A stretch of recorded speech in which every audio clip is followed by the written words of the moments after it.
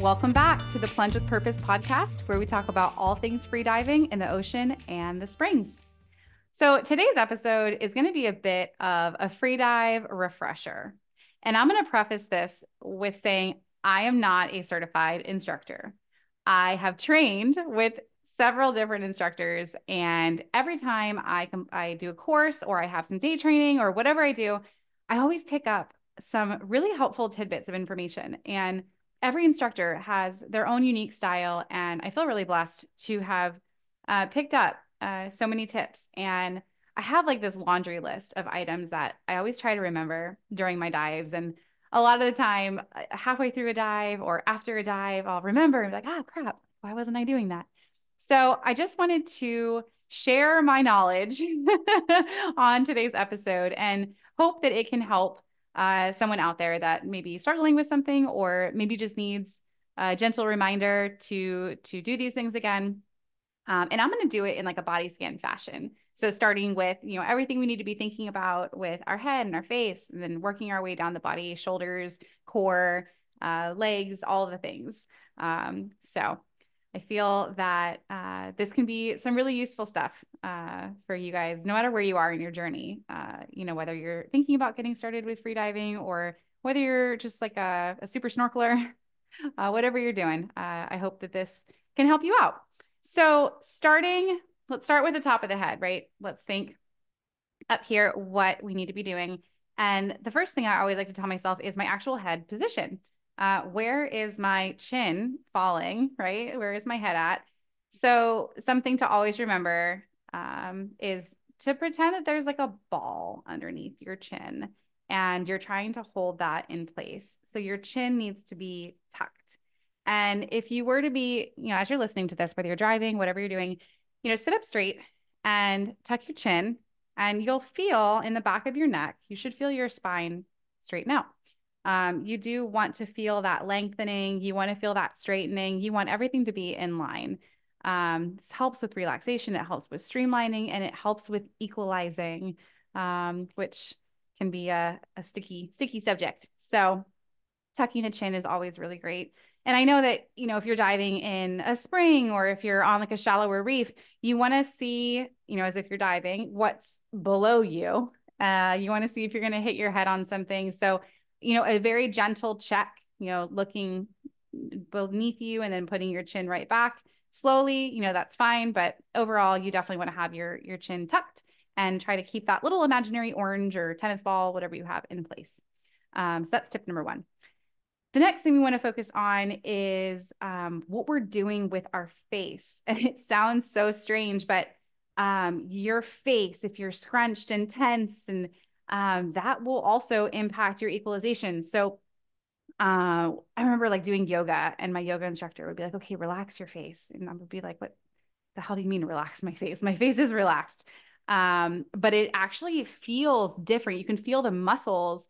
You know, if you're if you furrow your brow as you're listening, and then kind of release it, you'll feel the the skin and the muscles around the corners of your eyes and your eyebrows. It kind of just drops and and uh, shifts and that's what we want to feel in the water. We want our whole face to be relaxed.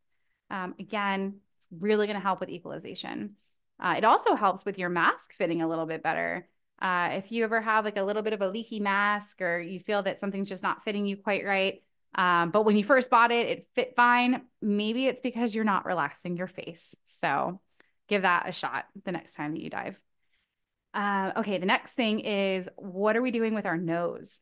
So I am not a hands free equalizer. I absolutely need my hand and I tend to keep it on my nose for my entire dive. So when I'm equalizing, uh, and I'm going to put my hand over my nose here, what are you doing to your nostrils, right? Are you like really grabbing them super hard, you know, or are you just gently uh, restricting airflow? And something that we need to be conscious of is is how aggressive we're being with our nose so I've seen people go to dive and they're like, ah, ah, like really squeezing their nose as hard as they can. And um, by doing that, you're going to be tensing up more than just that area. You're tensing up your face, which will negatively impact your equalizing. So be gentle to your nostrils, you guys.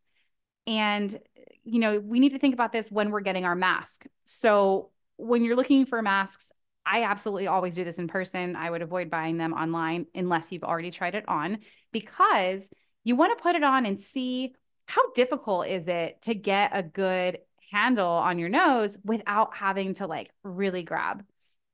Um, so I like to look for masks that have that really thin, very flexible rubber around the nose, not something that's really rigid, uh, or else you're going to struggle and then you're going to fight to get a good grip and probably pinch too hard.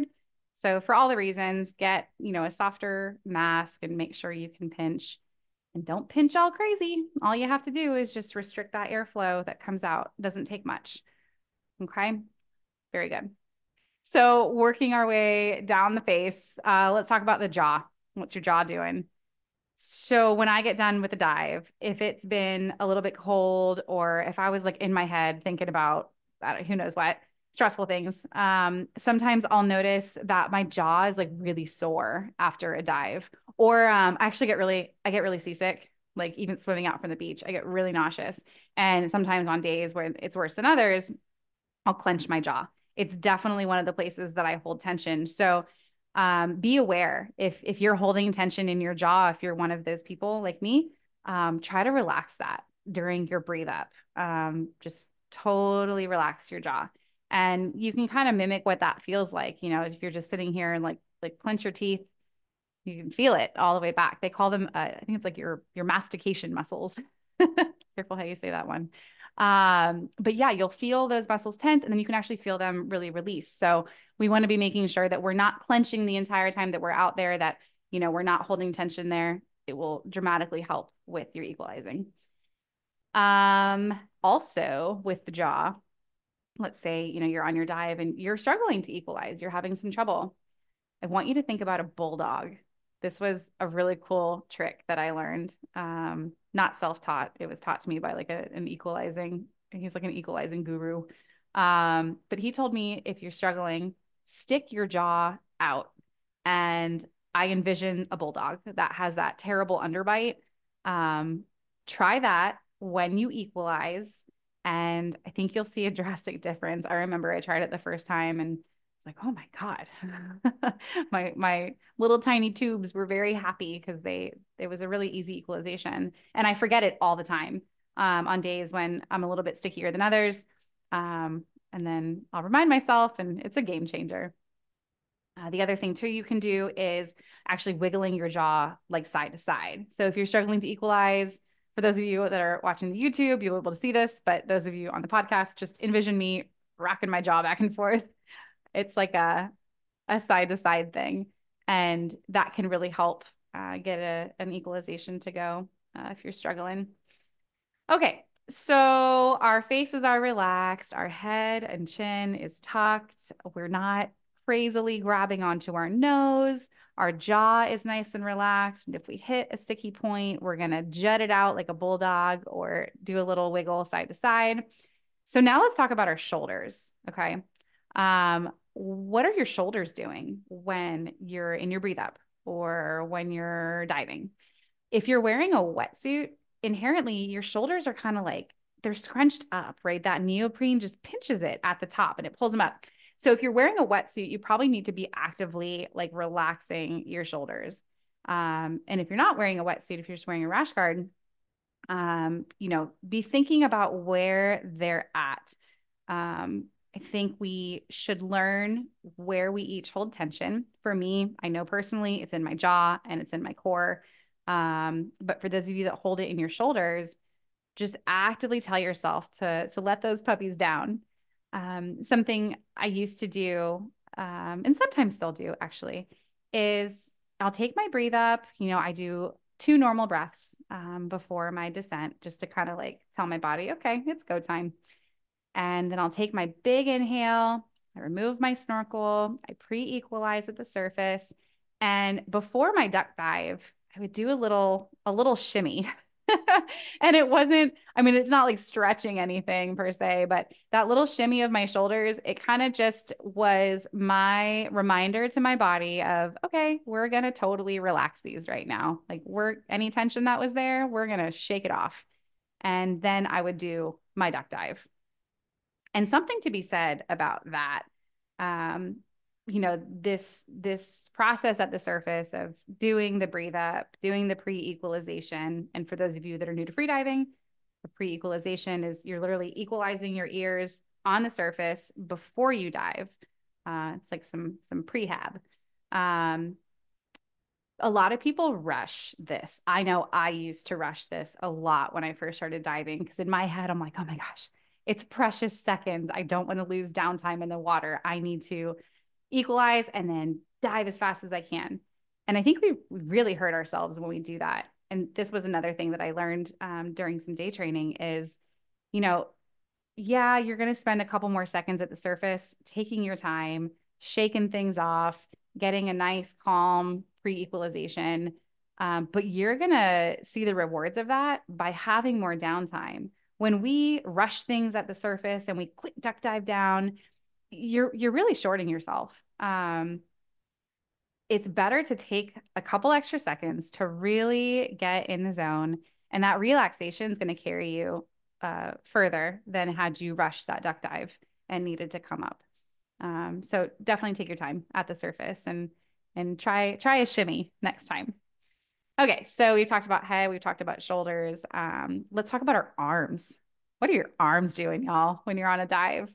Um, again, I'm not a hands-free diver, so my right hand is always on my nose. Um, I'm like a rapid fire constant equalizer. Um, so this is always here. And this elbow on the arm that you're using to equalize, be conscious of where that guy is. is he way out to the side? Is he, you know, giving you extra resistance? Um, you want to keep it right in line with your body. So if you're equalizing with the, you know, obviously the thumb the forefinger, the forearm should really just drop straight down from there. And you're not squeezing it into yourself. You're not like restricting anything here, but you're just keeping it streamlined with your body, right? Because if it's out to the side, you're, it's like extra resistance. You're fighting the water more. So then what's the other arm doing? what's this guy up to? Um, you want to be conscious of, of it and it shouldn't be out, shouldn't be flailing. Maybe it's holding a GoPro, who knows? Um, but whatever it is, keep it, keep it in line with your body. Um, it will, it will help help yourself have more downtime. And they're just really simple little tweaks we can make, you guys. Okay, so we've talked about the top half of our body. Let's get down to the core. Um, what's going on with your core? So uh, if you hold tension there, like I do, um, it's it's interesting, you know, because at the surface you take that really big breath and you've got this really full belly, and it's awkward and uncomfortable. Um, I actually, as much as I want to go slow and calm at the surface, it's funny because in my mind I really want to get down to just a little bit of depth to start to feel that air compress because it's so much more comfortable once that air um, is compressed a little bit. I don't know if you've ever noticed when you take a really big inhale, um, if you're practicing like breath holds on land, you get a little little lightheaded and uh, your lungs are so full that they put a little bit of pressure on your heart. And so that's why you can feel a little lightheaded. So when you do your dive and you start to get that pressure from the water and it's decreasing your lung volume a little bit, to me, that's like golden. it's so much more comfortable. Um, but I also have to be really aware that I hold a lot of tension there. So inherently, like I try to like kind of squeeze that air down and get rid of that uncomfortable feeling. Um, and it, it's just an awkward feeling.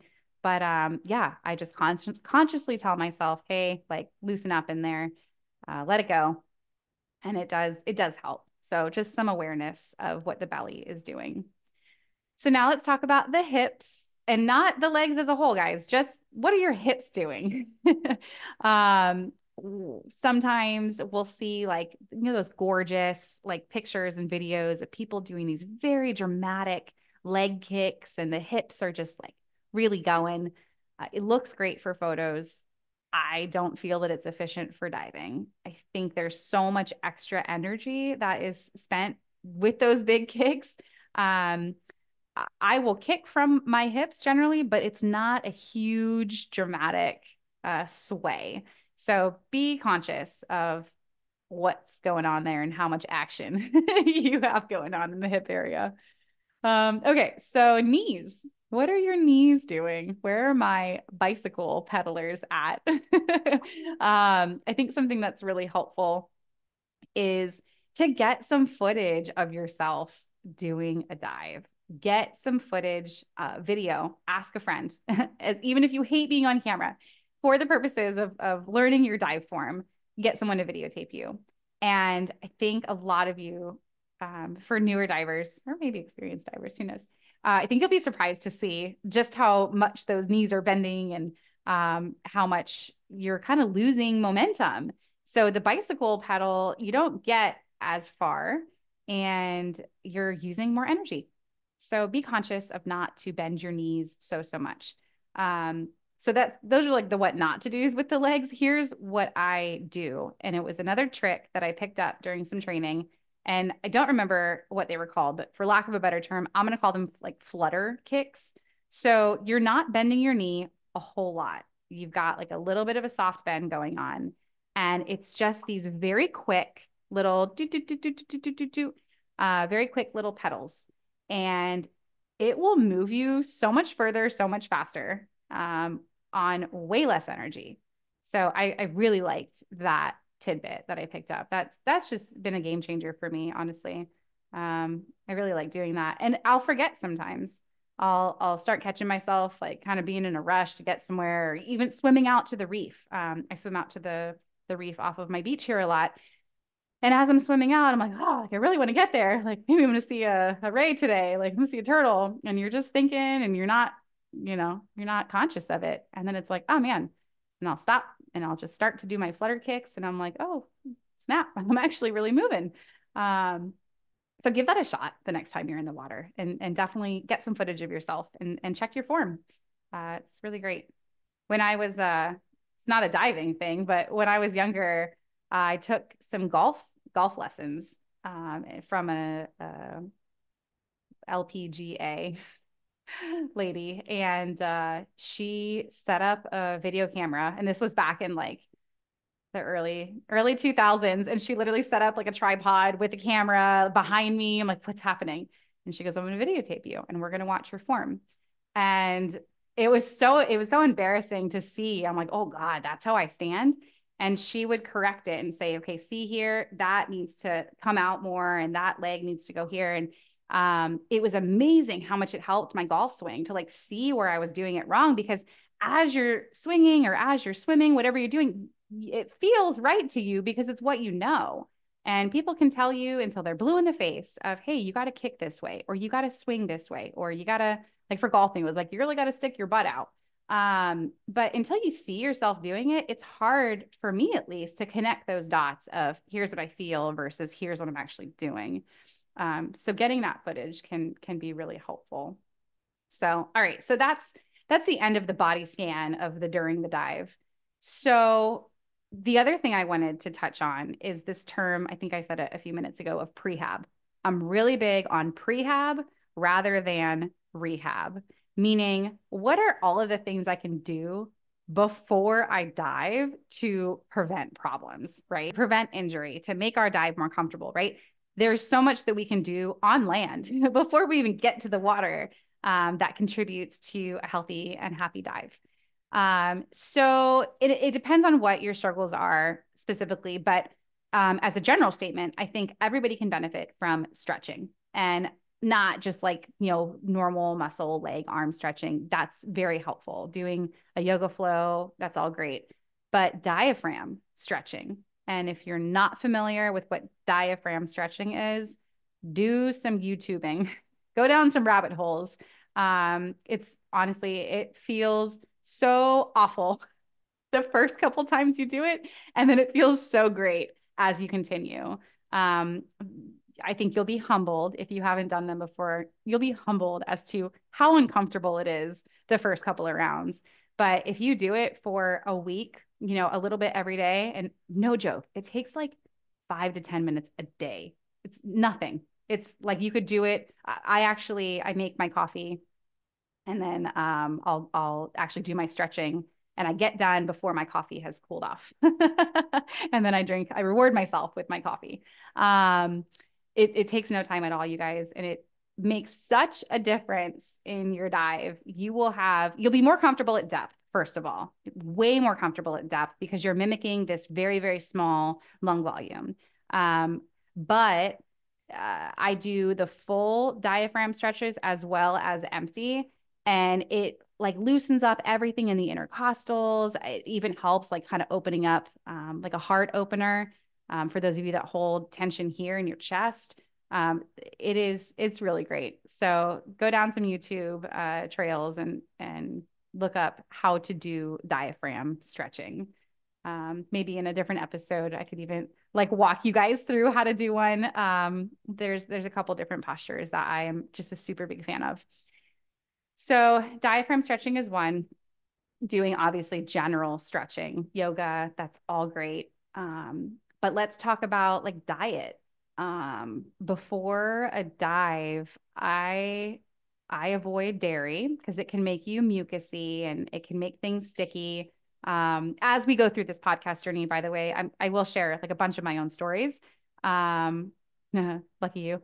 But uh, you'll notice that a common theme for me has been equalization. It's just, it's been such a, an interesting journey for me, the equalizing stuff. So um, I I really do try to be very healthy in terms of everything I can do to make that a little bit easier for me. So I avoid dairy, uh, even the day before, um, because it just clears everything up or avoids mucusy buildup.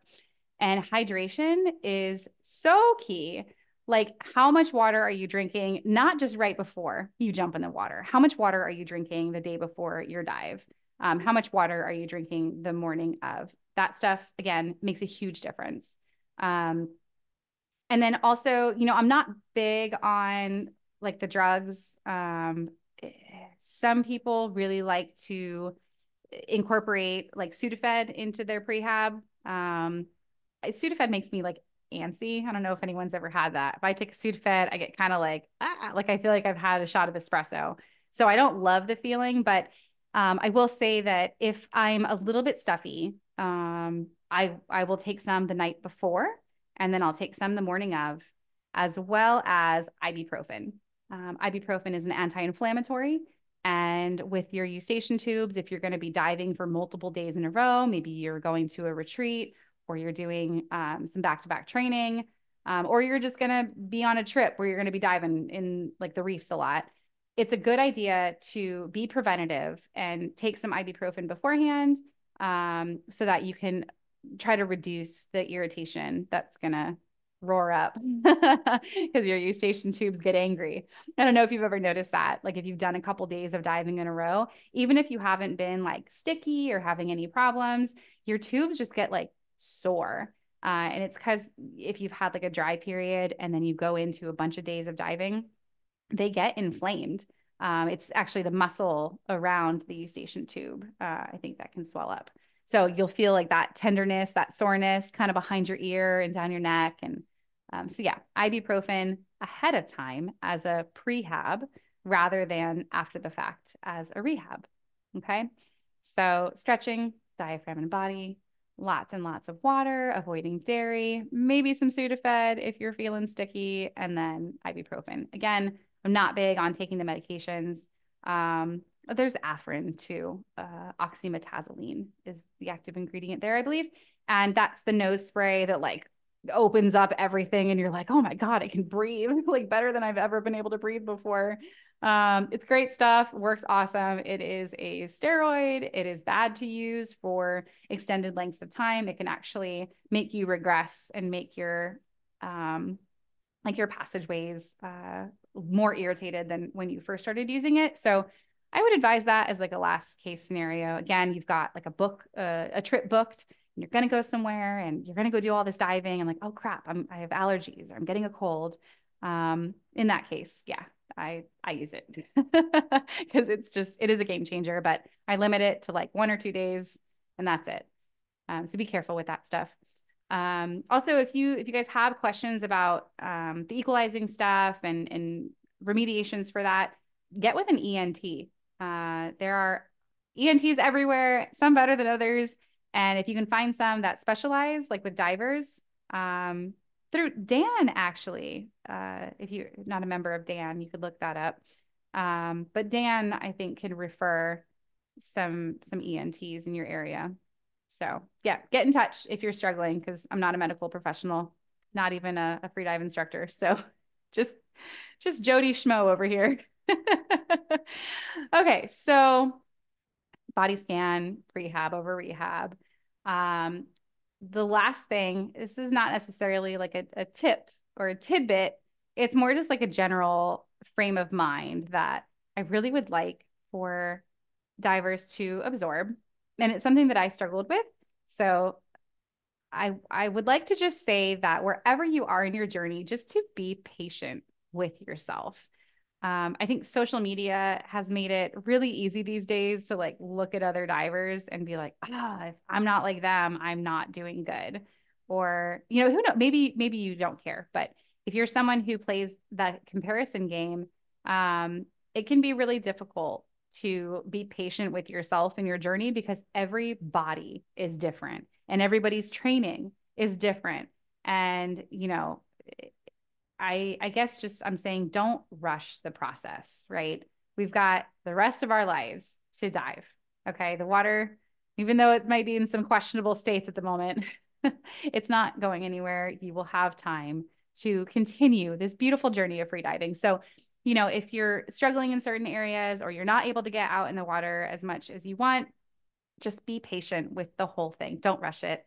Um, I think we we really do hurt ourselves literally and figuratively when we try to rush the process and we try to learn all the things at once and perfect everything and i think baby steps is key master you know mastering the first like 10 meters i think and i spoke about this on a previous podcast um, mastering those first 10 meters will do you so much better than trying to get to depth right when you start diving um, if you try to strive for depth right off the bat I, I feel that bad habits are picked up and you miss some really basic essentials that will help you when you get deeper. Um, so just getting to that plate, like chasing that number, you know, checking the dive watch every time, like, oh, how deep did I go? I think it really hurts us. So yeah, be patient with your journey.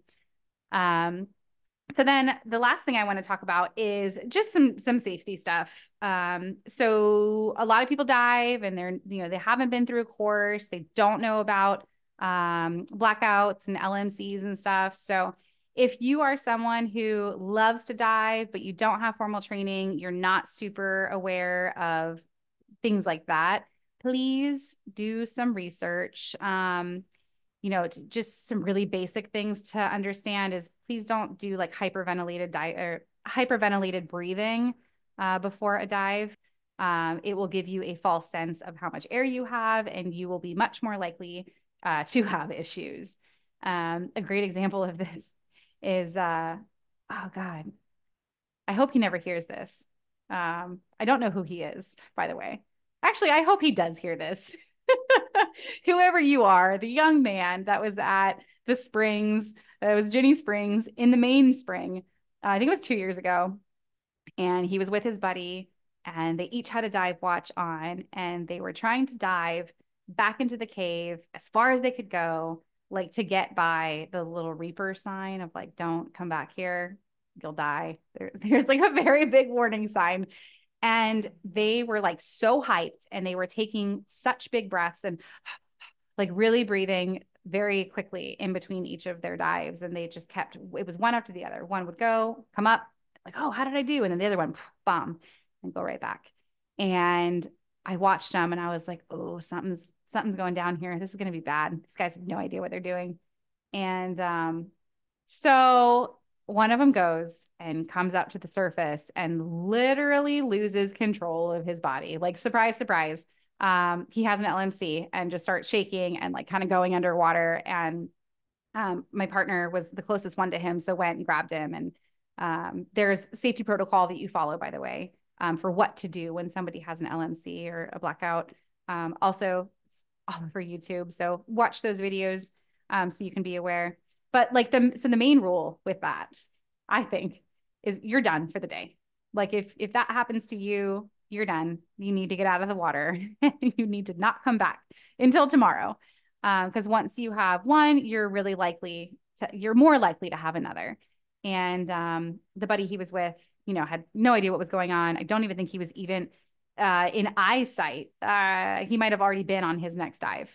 So we tried explaining to him, you know, what had happened. And, and he was like, oh, no, I'm fine. I'm fine. I'm just going to take a little break. And I told him, like, you should really, you know, you should try to be done for the day. Like, you got tomorrow. And he got out of the water and we actually packed up um, to go home. And, and as we're driving out, what do we see? And we see, see this guy walking right back to the spring with his fins and everything. He was going back for another dive and bless his heart. I hope he's okay. Um, but yeah, all of that to say if you're if you're not aware you know of why we have lmcs and blackouts um, do some research. Uh, you owe it to yourself. You owe it to the people that you're diving with. Um, it's a it's a good idea to be aware of those things and what to do you know if they happen. The main one just get out of the water. Just be done. Oh boy. So aside from that I, I think that's probably enough for today right? That was a, a whole laundry list of things to remember um, but it's honestly, you guys, it's my absolute pleasure to share what I know. And I don't know it all. I've still got a lot to learn. And I'm I'm learning every time I dive and every person that I train with. And I'm always picking up great, great tips. And um, I wish that someone would have sat me down, you know, outside of my course because it's so much to absorb.